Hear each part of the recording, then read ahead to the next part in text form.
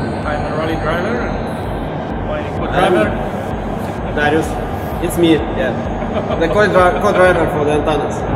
Really amazing uh, because of course we we used to many uh, fast and extreme driving, different cars and different situations. But this experience is uh, completely out of uh, your imagination or of what we can usually get the ground. So, uh, experience is just amazing. This is amazing feeling because you really feel like uh, like you are flying and uh, you you face all the truth what is going on with the with around. You really face that uh, you you hit uh, this plane and you have to land it. So it's for me it was amazing.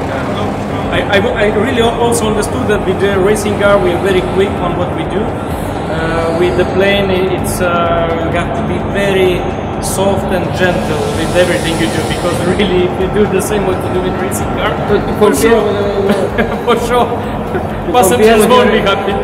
One thing that I don't like very much that your co-driver uh, actually does the same what you do. It means you are already not a co he's not a co-driver he's a pilot number two. Usually I prefer to control everything alone but this time he was doing just the same what I was doing. So uh, that's also the difference. And I like autopilot. In general, it's uh, changed me on the plane, so I can relax, drink coffee, and, and enjoy flight like a passenger.